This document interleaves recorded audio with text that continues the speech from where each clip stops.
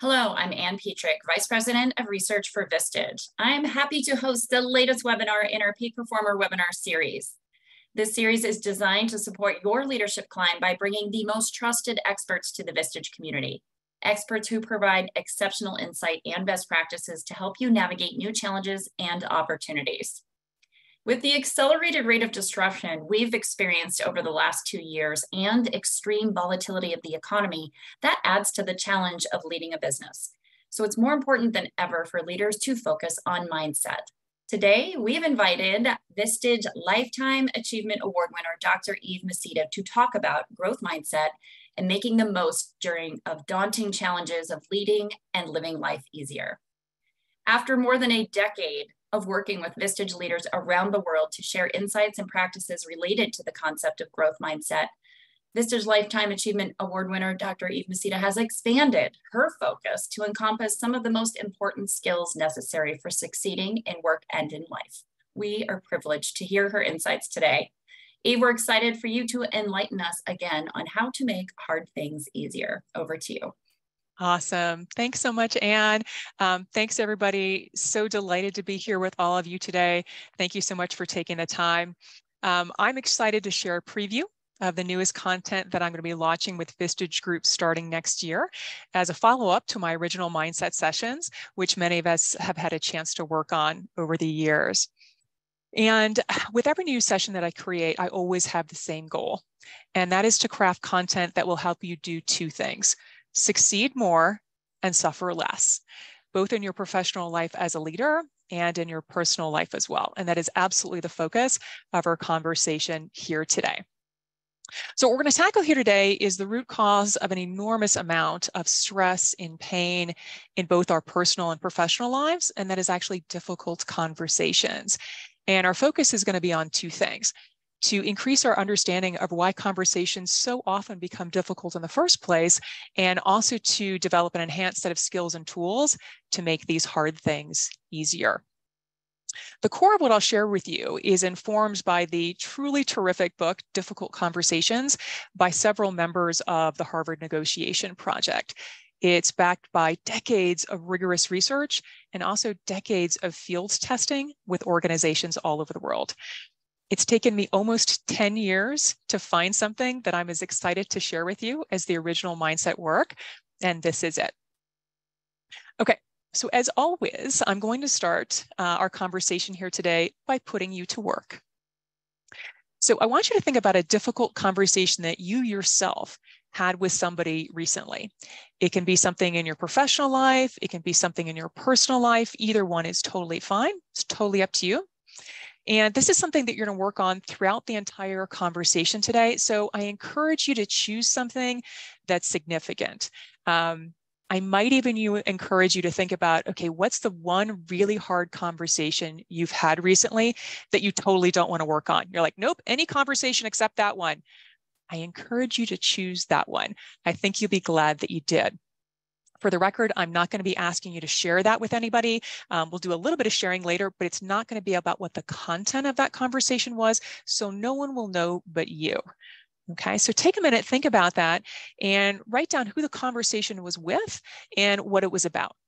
No need to, you know, go into like blow by blow level of detail here. Just a couple of nice, concise sentences is all you need for this first question. So I'll pause for a minute and let you go ahead and write that down somewhere.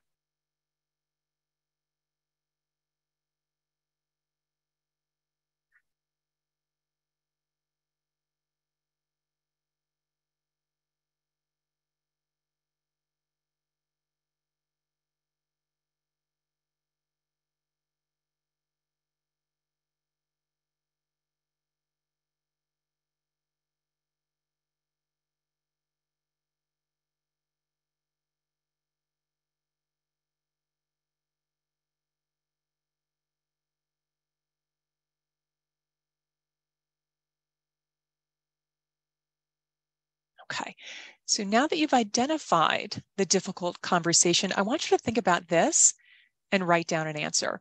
And uh, feel free to write down uh, or answer this question in whatever may, way makes the most sense to you. You can rate it on a scale from zero to 10.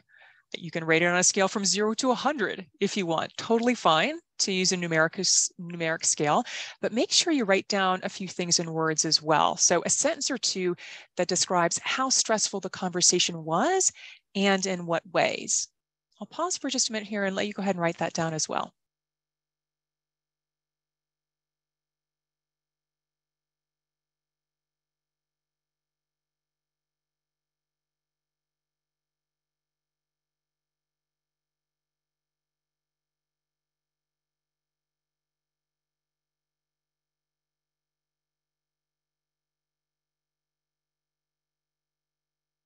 Okay, so now that you've got that, the second question is this, how successful was the conversation? And again, you get to decide how you want to define successful here. Feel free to use a zero to 10 scale, your zero to 100 scale if you want, again, totally fine. And as before, make sure you also write down a sentence or two that explains why you gave it that number if you did give it a number.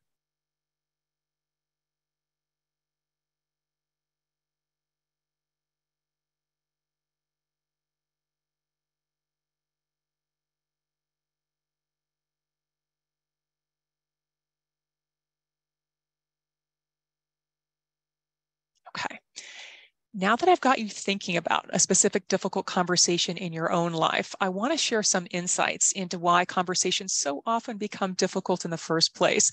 What does the research tell us about the root causes of difficult conversations? So, generally speaking, there are five primary places where things go off the rails.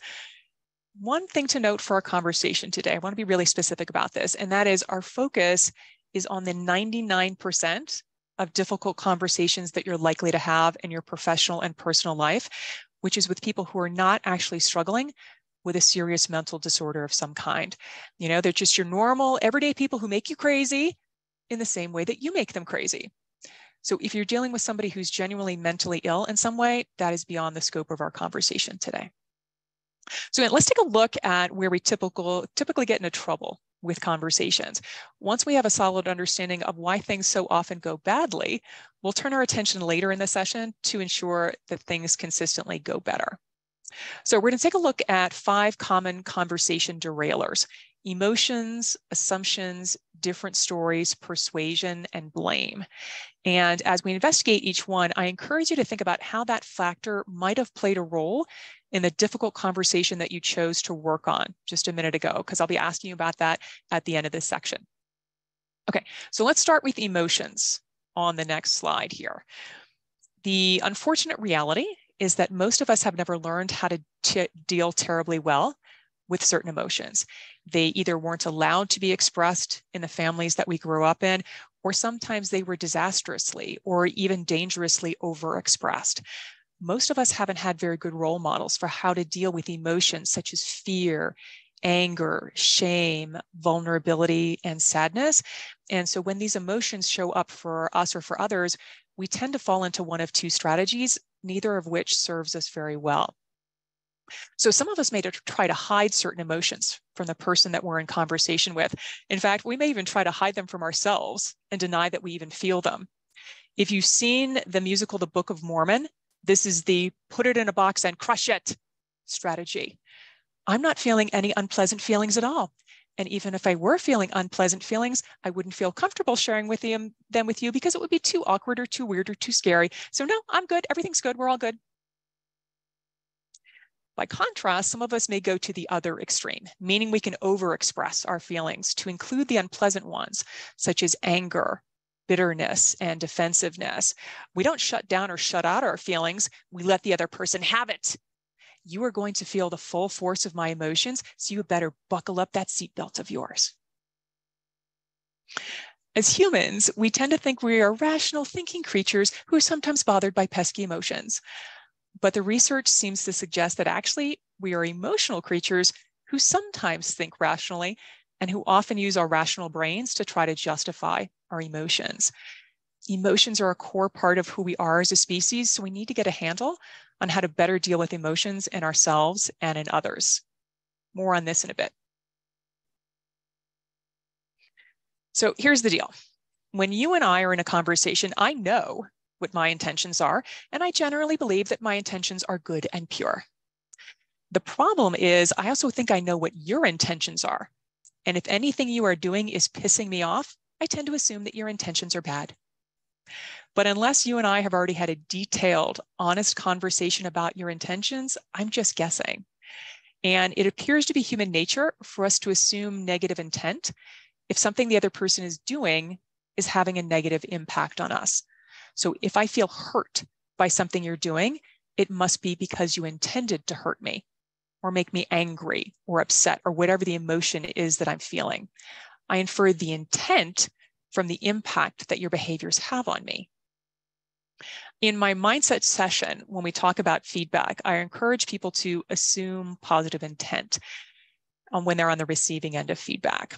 At the very least, we want to at least be aware of our very human tendency to assume nefarious intent when something somebody else is doing is making us feel something that we don't want to feel.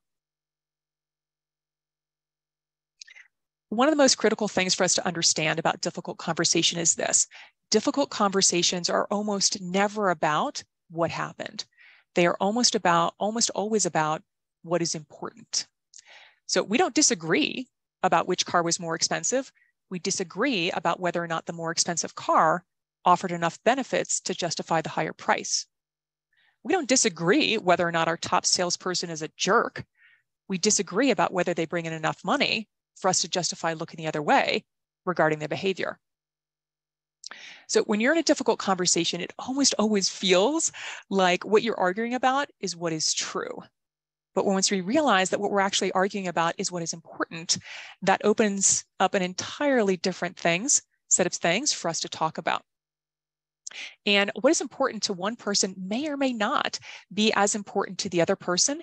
And that's a result of the fact that the only person who knows why you care so much about X, Y, and Z is you. And the same is true for the other person. No one else has your unique set of life experiences that have brought you to this point. And the other person, well, they have their own likely very different set of life experiences, which lead them to care just as passionately about the things that they care about. So, for example, let's say that you grew up in a messy household where dishes got left in the sink for days before putting, being put in the dishwasher. As an adult, dishes in the sink may make you crazy as does your significant other, who is the main dish abandoning culprit.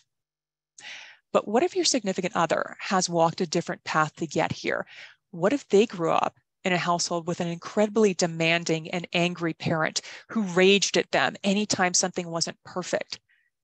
Maybe now that they're an adult, they like to be a little bit more relaxed about things because they can be, and they feel super controlled and defensive if anyone tries to boss them around like their parent did when they were little. So remember that difficult conversations are rarely about what happened or what is true. They are almost always instead about what is important, about what matters. A very closely related de uh, derailer is persuasion. Because we believe we're arguing about what actually happened or what is true, we think our job in the difficult conversation is to prove we're right, to demonstrate to the other person beyond a shadow of a doubt that we are right and they are wrong. Now, of course, they're doing the exact same thing. So the focus for each of us is on talking and not at all on listening. There is only one version of the truth. I'm in possession of that, and my job is to convince you of that or die trying. As a result, neither of us is curious about the other person's perspective. We don't want to learn, we want to win. Again, much of why we find ourselves here is because we misunderstand what the difficult conversation is about.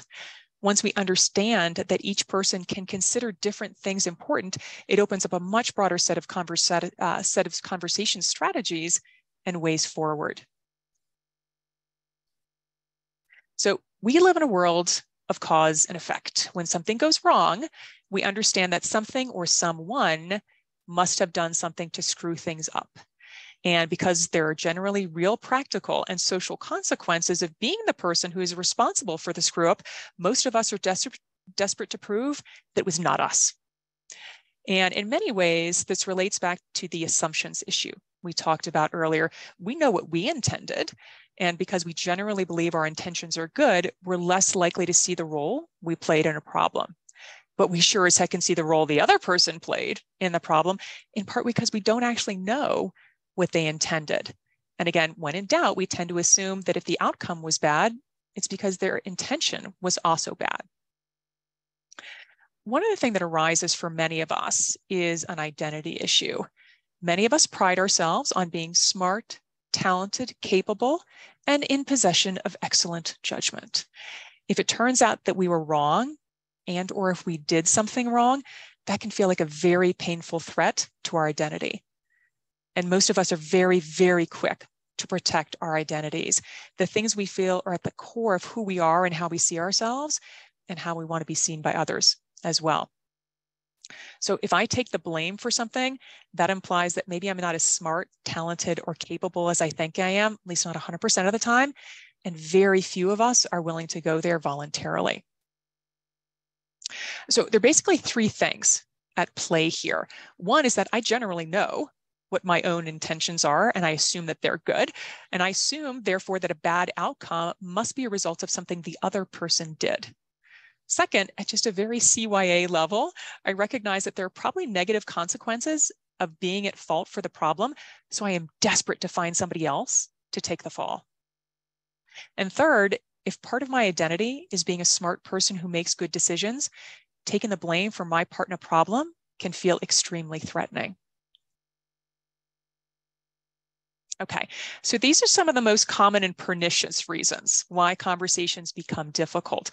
What I want to do here is ask you to take a few minutes now to think about the difficult conversation that you chose earlier and identify which of these five derailers, so emotions, assumptions, different stories, persuasion, and blame, were most at play in that difficult conversation that you chose. Then for each derailer that you recognize as having played a role in your difficult conversation, just write down a couple of sentences about how that derailer showed up. So what was going on now that you can see a little bit more clearly? I'm going to ask you to really take your time with this. And for the record, don't be surprised if you can recognize most of the derailers in that conversation. That is totally normal. And it's a sign that you've now got a lot more clarity into what was actually happening in that conversation which is awesome. So again, I'll pause talking for a minute.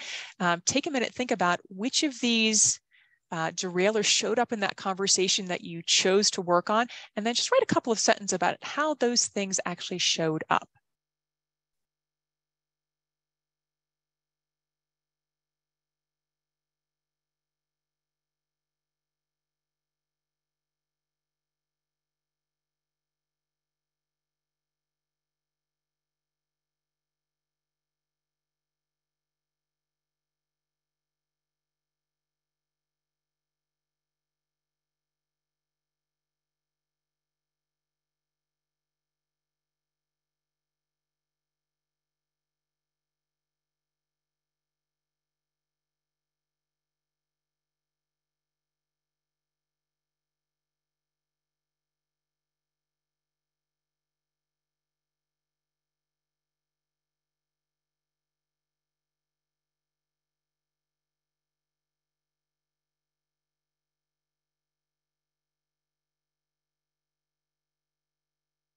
So if you're still writing, totally cool. That's great. It means you're going deep.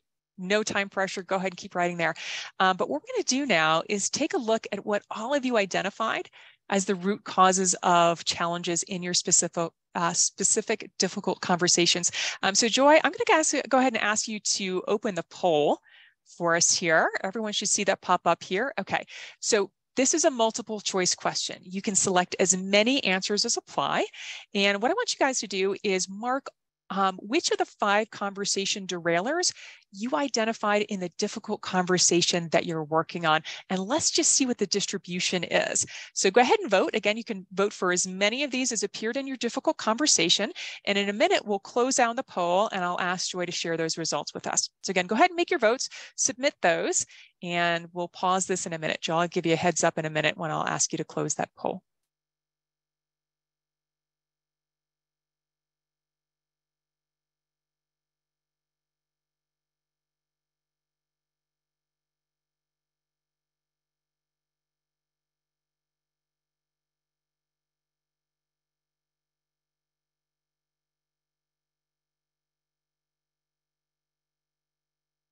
All right, so Joy, I'm going to just go ahead and ask you to close that, um, display the results. Just so curious to see.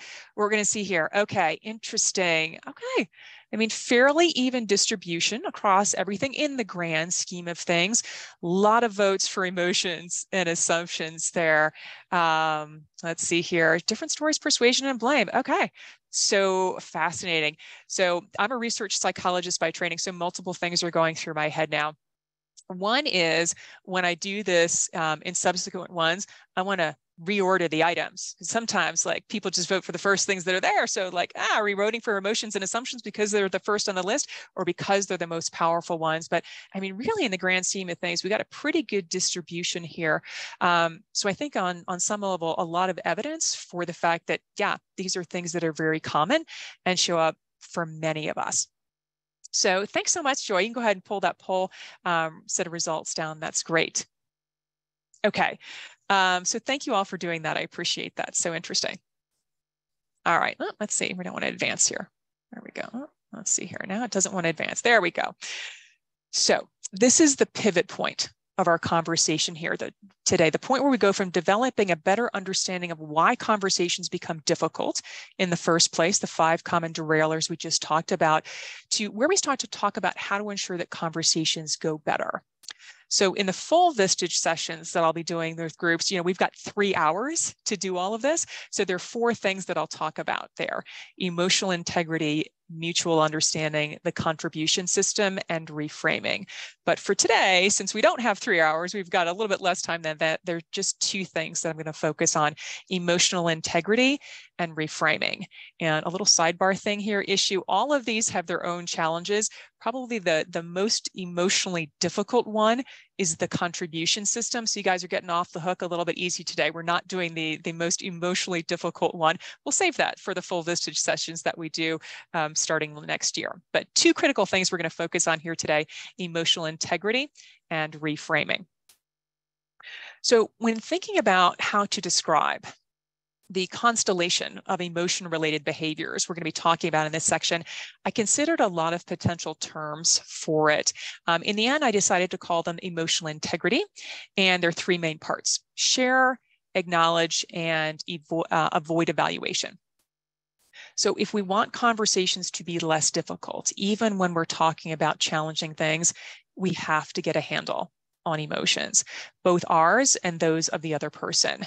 Uh, difficult conversations do not involve feelings, they are at their very core about feelings. We need to recognize this and learn how to do a few key things better. So, first and foremost, we have to be aware of the emotions we're actually feeling. I get that this sounds totally obvious, and most of us think we do this pretty well, but the research suggests otherwise. Time and again, when researchers ask people to identify the full list of emotions that they experience, people list a grand total of three. These are often referred to as mad, sad, and glad. So let that think in, uh, let that sink in for a second there. For most of us, the entirety of the human experience falls into three buckets. I'm either angry, sad, or happy. That's it. The problem here is that as humans, we actually experience a massively larger number of emotions. But if we don't have the language to describe those emotions, our ability to recognize them and handle them appropriately in ourselves and others is severely diminished. So, Brene Brown's most recent book, Atlas of the Heart, is essentially a catalog of the 87 emotions and experiences that characterize what it means to be human. The emotions and experiences that are most critical to our successful functioning as leaders, as partners, as parents, and just as humans. So, the first order of business for many of us is vastly expanding our awareness of what emotions we and other people experience. So, if it's not already on your must read list, Atlas of the Heart is one of the two books that I most recommend you immediately get after the session, along with the original Difficult Conversations book itself. So our first priority is to expand our awareness and language around emotions. And we also need to learn how to share those emotions appropriately with the person we're in conversation with. For some of us, that means we're going to have to be braver about admitting the emotions we're feeling to include the uncomfortable ones. For others of us, that means learning how to dial down the intensity of these emotions so that we're not blasting the other person out of their chair. So acknowledge, which is the second piece of emotional integrity, means communicating to the other person that one, you've heard the emotions they've shared with you. Two, you care about their emotions. And three, you're working to understand why they feel the way they feel. Now, note that acknowledgement does not require you to feel those same emotions yourself, nor does it require you to believe that the other person's emotions are justified. It simply says, I hear you, I care about why you feel, and I'm trying to understand why you feel this way. And then the final part of emotional integrity is avoid evaluation, particularly in a conversation that is about something deeply emotional. This one can be particularly challenging. So avoid evaluation means reserving judgment about whether or not the other person's feelings are justified or not. So if the other person says, I feel upset, and you respond by saying, ah, you're totally overreacting, that immediately shuts down any productive conversation. The other person is now even more upset and likely to respond by getting defensive and trying to prove why they're justified in feeling the way that they do. Everybody loses. So, in the initial part of a conversation where each person's job is simply to share their emotions honestly and appropriately, there is no role for judgment. At the very least, if you're feeling super judgy about the other person's emotions, keep it to yourself. So that's emotional integrity. And I put it at the very beginning of this section because it's generally the first thing that, do, that we need to do, but it's often the thing that we put off until the very end, the very last thing. So often, particularly in business settings where we naively believe that emotions have no role to play, we defer talking about emotions until they're so out of control that they burst through on their own, often in inappropriate ways. So instead, we want to front load the conversation about emotions so that we know what's at stake for each of us at the very beginning and we can talk about it in productive ways. So opening a conversation by saying something like, I'm feeling really frustrated about this situation and I'd like to know how you're feeling and see if we can talk about it. Or I'm feeling really upset about how yesterday went and I'm wondering how you're feeling about it and where we go from here. So it gets your emotions on the table. It communicates to the other person that they get to share their emotions too, and it invites them to work together with you to get this all sorted out. So what I'd like you to do on this slide is to think about where your own biggest challenges with emotional integrity lie. So a few things you can try differently the next time you find yourself in a difficult conversation. So do you need to share your emotions differently? So like actually screw up the courage to share them at all, or maybe try to keep them a little bit more under control. Uh, do you want to make sure you acknowledge the other person's emotions rather than just focusing on sharing your own? Do you, you recognize that maybe you need to resist the urge to judge the other person's emotions right out of the gate? Or maybe it's just deciding to front load the emotions part of the conversation rather than putting it off until the very end. So why don't you take maybe a minute or so here and write down one or two specific strategies that you want to experiment with in your next difficult conversation. And the more specific you can be here, the more helpful it's likely to be. So feel free to think about specific wording that might be useful when the time comes. Again, I'll pause here for a second, let you think about that and go ahead and write a couple of things down for yourself.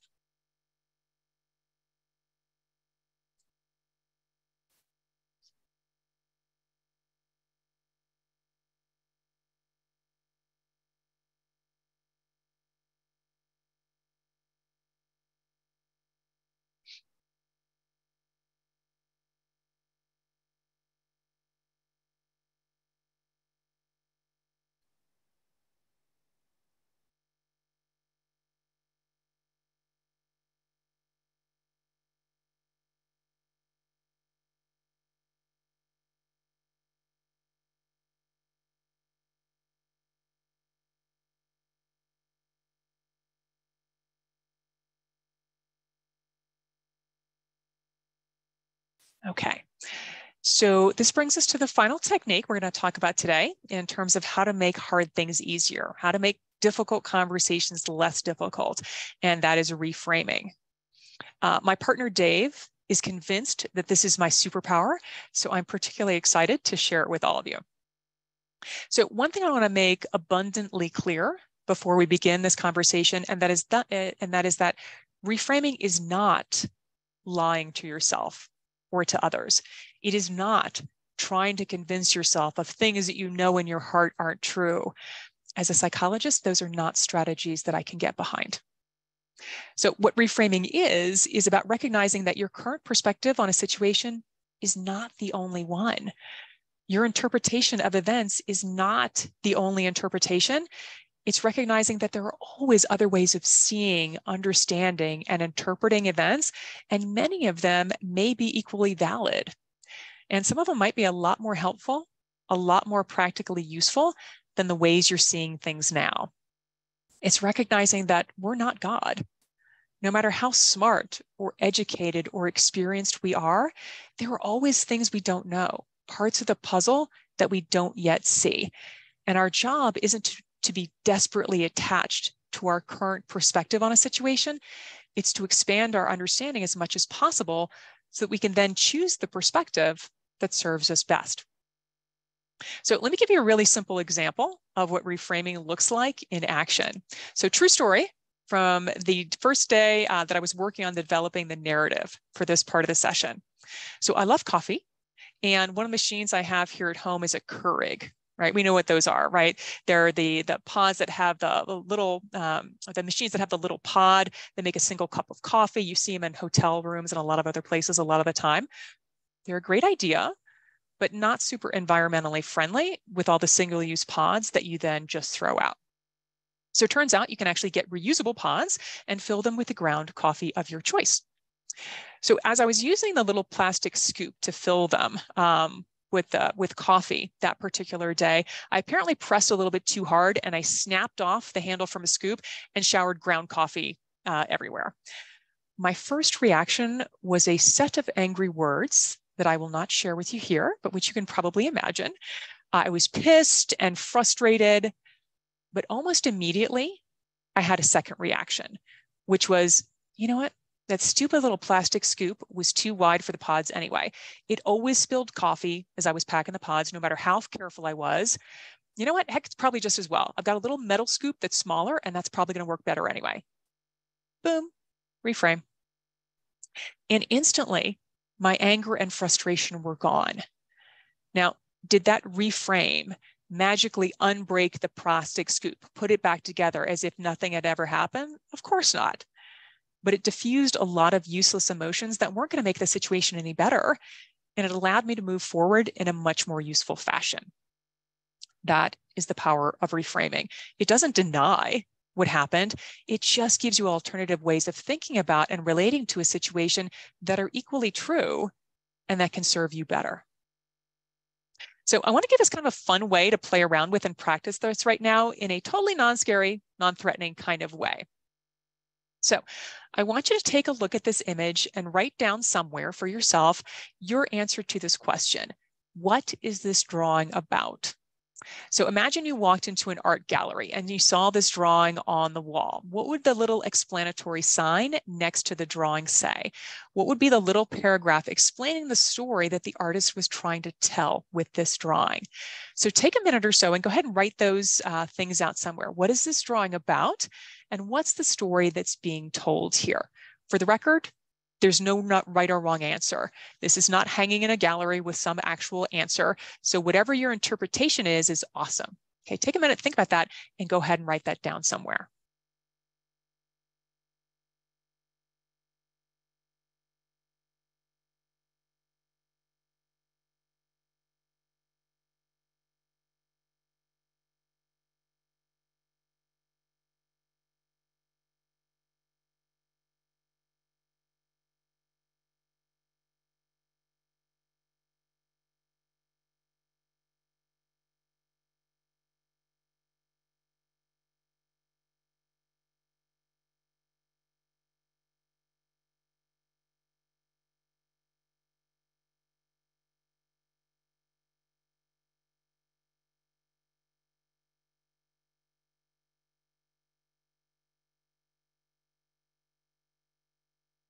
Okay.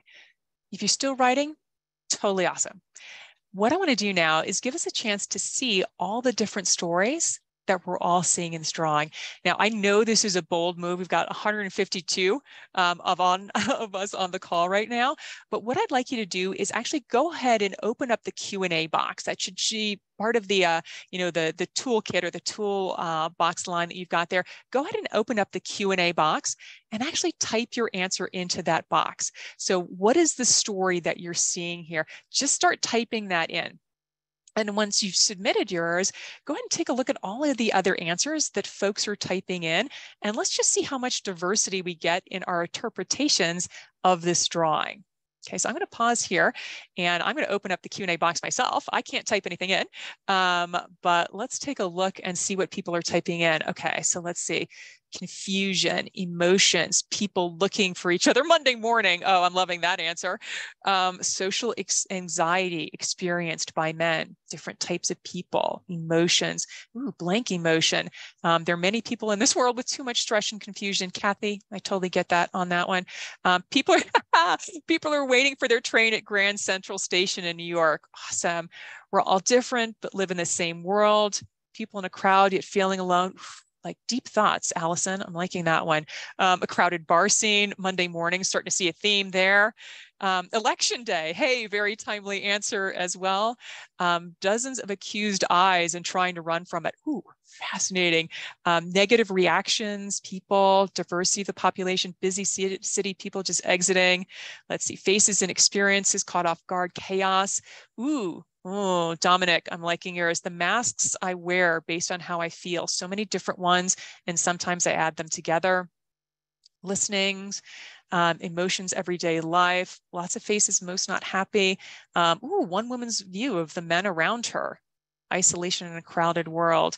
Um, people are alone, confused, fearful, mistrusting of each other, perspective. Um, let's see, the journey of life, uh, crowded city, rush hour, the many faces of New York City. We, we have a few folks from New York here, totally getting that. Um, all people have different talents, gifts, likes and dislikes. Uh, people, people everywhere, are not the thought to see. Oh, I like the literacy of that one. Very cool. Uh, I, I thought it was all the scientists who worked at Los Alamos. I'm sort of loving that. And I actually really want to know the story behind that one. Um, zombies escaping judgment. Ooh, each one is worried about something unique to them. Okay, fascinating experiment. Um, if you've got answers you haven't typed in, keep typing them. I'm going to close my chat box just so I'm not distracted because I want to get back to what I want to share with you guys here. So thank you all for doing this. So what you've all just done as a group, generate a wide variety of equally true interpretations of the same data is exactly what reframing is. And part of the beauty of reframing is that it doesn't even require other people. Once you get the hang of it, you can do it all on your own as well. So let's think about how we might apply reframing to difficult conversations. One thing we might do is reframe our blame of the other person. Once we better understand why that person feels the way they do, why they made the choices they made, what their actual intentions were, along with our own in, uh, contributions to the situation, we may be less focused on blame and retribution and more able to focus on how to repair the damage and prevent a recurrence in the future. And maybe our reframe allows us to shift from thinking uh, that person is insens- an insensitive jerk to, you know what? They felt unjustly accused based on assumptions I was making and responded in a way that was defensive but also kind of understandable. So, whenever you find yourself in a difficult conversation, I encourage you to expand your thinking and try to generate as many viable alternative perspectives as you possibly can. Now, again, they have to be viable alternative perspectives, things that are likely as reasonable, uh, things are as true, at least as possible as your original perspective. So, your job isn't to BS yourself, it's to expand your perspective and identify the alternative perspectives that already exist, but that you're just not seeing yet. Then, once you've done so, choose the most helpful or the most benevolent of those perspectives and move forward from there.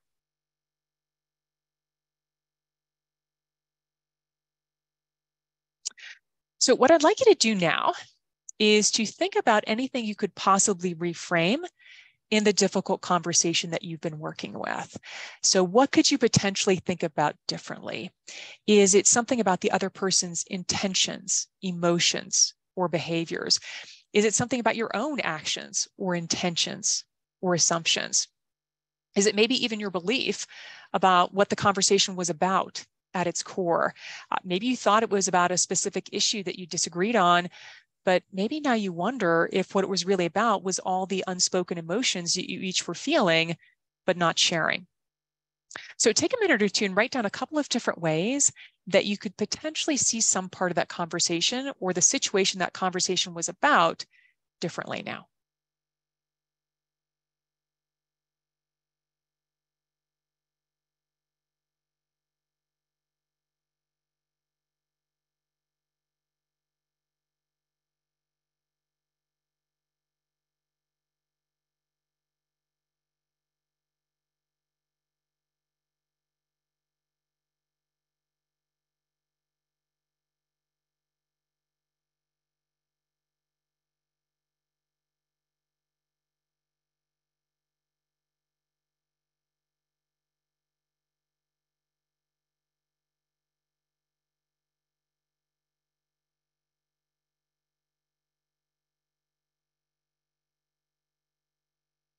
Okay, so as we get towards the end of our conversation today, I want to pause here and reflect on everything that we've covered in the session and also talk about where do you go from here? So what's your next move? So our goal was to figure out how to make hard things, specifically difficult conversations, easier. And to do that, we broke the session into two main parts. In the first part of the session, we developed a deeper understanding of why we get ourselves into trouble with conversations in the first place. So the five derailers, which are emotions, assumptions, different stories, persuasion, and blame. Then in the second part of our conversation, we turned our attention to alternative approaches that can serve us better.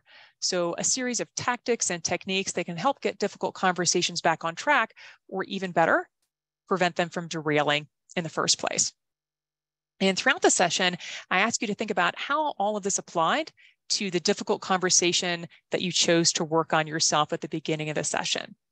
So on this slide, I invite you to answer one final question. And that is, what is one thing you want to experiment with in your next difficult conversation?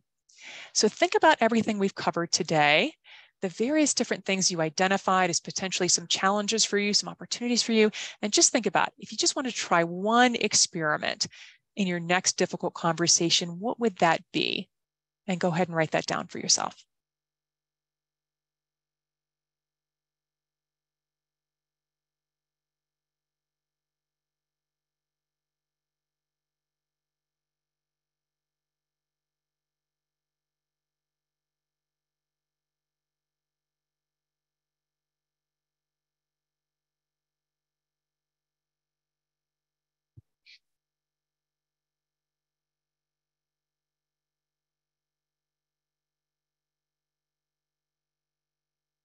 Okay, so generally speaking, I don't like to include a lot of text on my slides, but I did want to share a very powerful perspective with you from the Harvard Negotiation Project team behind the Difficult Conversations research, because I think they do a brilliant job of explaining why it's so critically important for us to master this skill set as leaders of our organizations.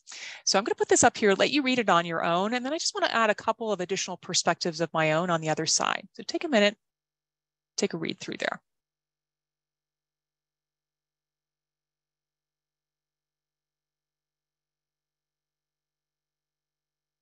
So this is why we care about difficult conversations as leaders, because the adaptability and therefore the survival and success of our businesses depends upon it. And that is hugely important. But it's not just our businesses that depend on our skill set in this area. It's critical to the health and vibrancy of our, most, of our most cherished personal relationships as well. And I think that is equally important. So as I mentioned at the beginning of the session here today, my goal is always to share content with you that helps you do two things, succeed more and suffer less. And the insights and tools we discussed today are really beautifully positioned to help you do precisely that in all parts of life. So I thank you so much for taking the time to join with me today. And I really look forward to hearing the stories of how you're putting this all into practice. Um, with that, I will say thank you and hand it over to Anne to open it up for some Q&A for us here. Absolutely. Thank you so much, Eve. I think many of us grew up professionally in an environment where emotions were unprofessional. So both transferring emotions and stuffing them down resonate really well with me.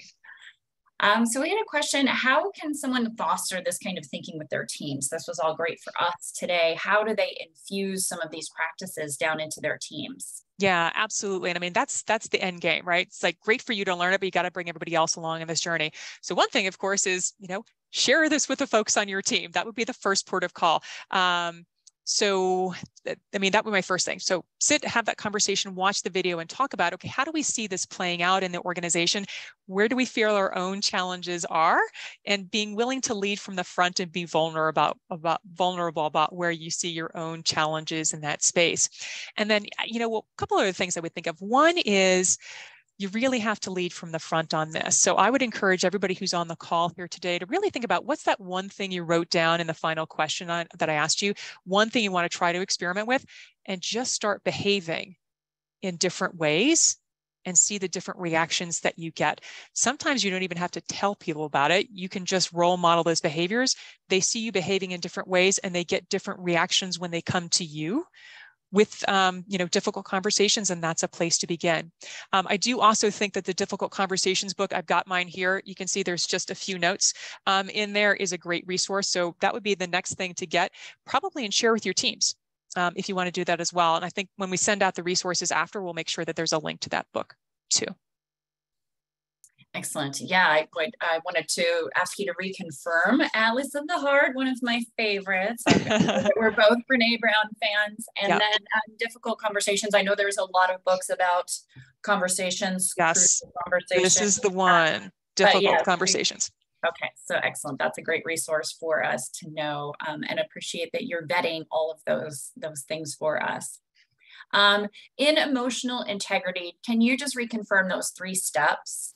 Um, to use to respond to in, in a conversation. Yeah, absolutely. So again, you guys will get a couple of these slides after, so you'll be able to see those too. So it's share, acknowledge, and avoid evaluation. So again, share is all about do I actually know the emotions I'm experiencing and the same for the other person and are we uh, sharing with those each other with each other in ways that are both honest and appropriate right, um, right. Uh, acknowledge is I heard what you said uh, I care about how you feel, and I'm trying to understand why you feel the way you feel. And then again, the last one uh, is avoid evaluation. So avoid the temptation to feel like that person's feelings are totally unjustified and try to call them on it because then we just get defensive. So again, your job is just to share your own feelings, listen to theirs, um, acknowledge again, I hear what you're saying. Uh, I care about what you feel. I'm trying to understand why you feel the way you feel and the, reserve the judgment about honestly your own feelings because you feel how you feel and other person's uh, emotions as well. Are there best practices for acknowledging like mad libs for difficult conversations? I feel this about that. You know yeah i mean i think I, I feel like the language here can be a very individual thing. So as long as you're saying i hear what you're saying i care about how you feel and I'm working to try to understand how you feel that way. Like whatever language feels natural to you, and it's probably not going to feel supernatural if this is not a practice you've engaged in before. So feel free to like play around with some wording in advance because you don't want to try to make it up in the moment because you're probably also, you know, super hyped up then. So a little bit of prep here before you're in a difficult conversation is worth the investment yeah, I've been working on this personally, and it's amazing how much just emotion is released when you say, I feel X about Y. Just getting that out there is, is such a big first step. Yeah, yeah. All right, we have a, a long question. So okay. uh, next. Um, definitely is something that we appreciate. And um, this is from someone to protect others with their difficult emotions. So here's an example. A friend asked for a, re a reaction to her performance review, review, and it was difficult to be honest with her about her biggest blind spots, which could be useful for her to address. So this person asked what kind of feedback she was looking for and then left the conversation assuming she's not ready to address the patterns of behavior that keep her stuck. So mm. like with that, with withholding something was useful because it would make her uncomfortable. Mm. Oh, so much going on in that conversation. Um, so what I'm going to suggest here, um, particularly if you've got an ongoing relationship, personal, professional with somebody, is actually something that I talk about in my original mindset sessions. I'm going to reach back a little bit and pull a technique that I talk about uh, in there. So one of the things I talk about um, in the mindset sessions when we talk about feedback, because that's a whole section um, in the mindset session, is uh, giving people feedback in a way that they can hear because we do not all have the same preferences when it comes to how we like to receive feedback. The things, a little bug, how annoying, um, the things that we respond well or poorly to when we're on the receiving end of feedback. So I think one of the things that might be worth considering, again, particularly if this is somebody you have an ongoing relationship with, is before you have any feedback for them or sort of outside of that, go to them and say, hey, how can I share feedback with you? particularly the tough stuff in a way that you can hear and you know like what's a good what's good timing? How much of a heads up do you want? How much detail do you want? What percentage of uh, praise versus criticism do you prefer? All kind of their preferences get a handle on that stuff. And then when the time comes to give them feedback you've got a sense of how you can deliver it in a way that they're able to hear. But if you don't ever ask them what their preferences are, or if you just assume that their preferences are the same as yours, which is rarely the case, um, you're kind of guessing and not not the best strategy. So that might be again something to think about um, outside of the specific feedback conversation. Find out that information, and then when the time comes, you're much better positioned to do it in a way that's likely to go well. Yeah. So I guess the choice, Darren, sorry, is uh, you did the right thing by asking what kind of feedback, um, yeah. which is very helpful. But yeah, sometimes people just want to want to vent, and mm-hmm. sometimes um, they actually want constructive feedback. I think about the video of the the woman with the nail. the nail. That's my favorite. It's not about the nail. Yeah, but it is sometimes. Yeah, in the end, it must be really hard. I think about those as acknowledging statements, like, you know, that must be very hard for you. Um, mm-hmm. or, you know, I can't, I understand. I think I had a, an HR director who was great with a lot of this kind of things. And I think about, you know, things are symptomatic, right? Like whatever you're addressing is really symptomatic of the, the bigger problem. And I think that's what you talked about is the truth versus what is actually important. So getting to um, what is important. Yep. Okay. Um, so when is venting healthy and when is it not and just making things worse? Ooh, boy, this is where like I wish I had a follow-up question. So it kind of depends on what we mean by venting. So, you know, kind of eh, in the situation we just talked about, if you've got somebody who just had a really crappy day at work and they want to come home and just vent to their significant other, just like, oh, I just need to get this off my chest. And I don't need you to solve anything. I just need to get it out like, hey, you know, time and a place for that. You don't even need another person for that. Like you can talk to, you know, my little gahanka back here. You just, you know, talk to some inanimate object. That's totally fine. Um, now, venting in the context of a difficult conversation, which is, I need to have a conversation with you and I'm feeling very intensely emotional about something, that's where we want to avoid the venting. So um, that's a place where, you know, I, I, mentioned earlier that most of us fall into one of two categories when it comes to emotions. We either shut them down, pretend we don't have them, um, at least on the outside, or we overdo it and we let the other person have it. So if that's the kind of venting we're talking about, we just let the other person have it and it's directed at that person, not a good strategy for this. But again, if it's just coming home after a crappy day and venting to somebody else and saying, hey, I don't need you to fix anything, I just need to get off my chest, I'm okay with that strategy. Right, because sometimes, I mean, I think Darren, you know, what kind of feedback do you want? I just want to be able to transfer my emotions to you. and then we're going to offload them somewhere else because you don't right, need them exactly. either. Yeah. yeah. And, you know, and I want to come back to something you were talking about earlier because, you know, I do think it is helpful. Um, and you can do this on both sides of the conversation. So, you know, if you come back and you just had that really terrible day at work, you know, give your significant other a heads up. You're like, I'm just pissed about this. I don't need you to fix it, but can you just listen to me because I want to get off my chest? Like that relieves the person of having to do anything about it. So if you have the wherewithal to recognize what that's what you need, saying that on the front end is helpful. If the other person doesn't have the wherewithal to say that, and you're the one who's receiving it, you're absolutely um, within your rights to say at the end of that, do you want me just to say they're there, or or you know like war game it with you? You know, just so again, you can do it as the person offloading it if you've got the wherewithal to do it. But again, if that's not the case and you're on the receiving end, totally legit to say, what is it you need from me? Do you want problem solving or do you just want to get it off your chest? Either yeah. way is fine. Well, I'm wondering, I mean, I love the idea about reframing, and that's such an important skill, I think. And, you know, is there a way of coming back at it again to be able to say, I've been thinking about what you shared with me. And if you're open to some just some suggestions now, maybe when the emotions aren't running as high, maybe that it could be a way to help someone reframe what their their emotions. Yeah, absolutely. I mean, you know, eh, it, when emotions are running super hot, to your point, it's really hard for the person to hear that. They're just, they feel how they feel. It's very intense. We tend to have laser focus on our interpretation of the problem. It's hard to even, you know, let alone recognize the stuff, but even be open to it. So you're totally legit saying something like, you know what, I have some additional thoughts on this. I recognize now is not the time, but if at some point later that would be interesting, let me know. Happy to share. So they don't even have to say yes in the moment, but like give some time once they cool off to come back when they feel they can hear it. And that's great. Yeah, yeah. And I think, you know, one of the things that they talk about in difficult conversations is that difficult conversations are rarely a single conversation they're usually a series of conversations that happen over time. And I think that also kind of takes the pressure off.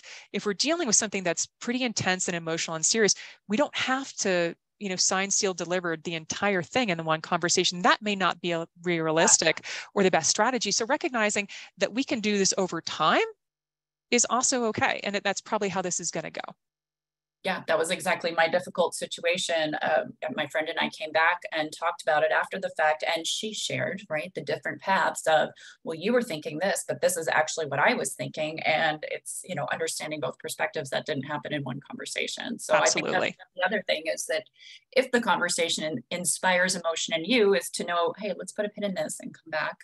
Um, mm-hmm. when it's when it's a little bit more, um, we can address this on a different level. Mm-hmm, for sure. Okay, my very last question is How do you think the virtual environment makes it harder or easier to have these conversations or to, to go through these steps? Oh man, we saved the biggest question for the last one there, didn't we? All right, it's going to end with a bang here. Wow. Okay. So, I mean, a couple of different thoughts. I mean, one is most of us have been doing this for two and a half years now. So uh, we're not rookies at this anymore. Um, hopefully, we've got a reasonable you know, degree of self-awareness about how we show up on Zoom and various other platforms. And we've got a better sense of how to read other people's emotions in Zoom. You know, the truth of the matter is, is that you do lose something um, in a virtual environment that you can't pick up. Zoom is a lot better than just pick up the phone. So my first suggestion is, you know, if you're going to have a difficult conversation, do it in person if you can, right? Because that is likely to go better.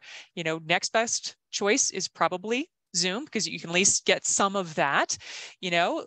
Beyond that, we get into things that we don't really want to do. So just a telephone call, absolutely not email, absolutely not text. Um, but yeah, I think the the skill sets that we talked about here in the session today don't require you to actually be physically located in the same place. Every single one of them is something that you can do. I mean, you could do it um, on the phone, but you absolutely can do that uh, on Zoom. So I think, yeah, you know, as a psychologist, do we lose a little bit of the nonverbal signals? We do, mm. um, but we get a lot of those things, and there's absolutely nothing we talked about here today that we couldn't do equally as well in a virtual environment. And the truth of the matter is, that's the reality for most of us moving forward. So somehow we're going to have to figure this out. It's the yeah. exact same set of strategies. Excellent. Thank you so much, Eve. Um, I always enjoy our conversations and your insights. This new content's fantastic. A lot of takeaways I am sure our attendees will appreciate. We will be sending a link to today's recording and slides within 24 hours. So you have all of those steps that Eve shared as well. So thank you, Eve. My pleasure. Thanks for having me. Yes. All right, so be sure for our members to join us next Friday for an exclusive conversation. Rod Ron Ishog from the U.S. Chamber of Commerce. He's going to come to Vistage in a live member exclusive discussion about the impact of the midterm elections for small and mid-sized businesses. That's a week from now on Friday, November 18th. You can register for this session now on My Vistage, and that is exclusive for our Vistage members. Also, plan to join us for our next virtual National CEO Conference on Business Growth. That is December 9th, featuring our keynote speakers, Shark Tank's Barbara Corcoran and innovation expert Martin Lindstrom. Looking forward to that. So mark your calendar for December 9th and be sure to register to hold that spot on your calendar. More information on that is available at vistage.com slash growth 2022. That's vistage.com slash growth 2022. Thank you so much for your time today, everyone. Have a great day, be safe, and be well.